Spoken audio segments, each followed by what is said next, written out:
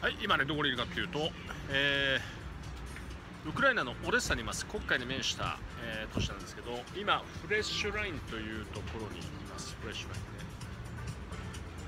でで、えー、フレッシュラインで今、えー、食事をしてるんですけど、えー、頼んだのはこちらです。なんかサブウェイに似てるんですけどね。サブウェイに似てるような感じなんだけどまあこういう形でいろいろと入っててこれでいくらかっていうと大体 9C30350 円ぐらいか。まあそれなりに安いです。まあこのあれですけどでいっぱい入ってます。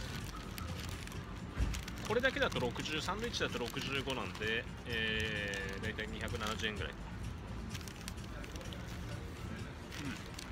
うん。まいスーパーなんかでバーガーとかいうの買うと大体日本に120円ぐらい売ってるんだけど倍ぐらいするけど全然日本人からすると安いです。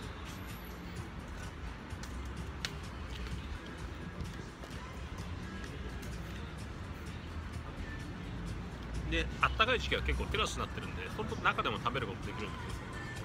まあ外でせっかく食べてます。なかなか美味しいですよ。